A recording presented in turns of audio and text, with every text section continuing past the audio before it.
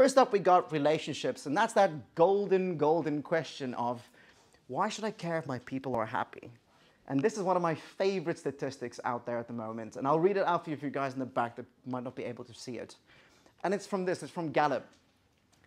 Close work friendships boost employee satisfaction by 50%.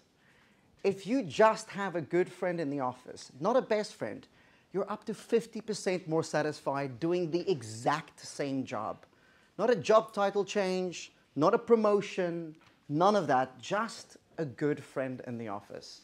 People with a best friend at work are seven times more likely to engage fully in their work and are more likely to stay at a job. The key thing that we also talk about with regards to this in design is we design spaces to get people to connect.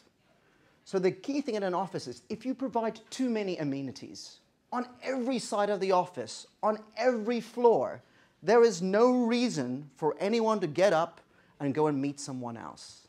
So we talk about central plaza, central cafeterias, central points that give people a reason to get up, go down to a certain place and connect with others. Meet someone from another department. Companies with a very high social support, very high social um, community, um, have, in those companies, people on average have 30% less physical strain in their bodies.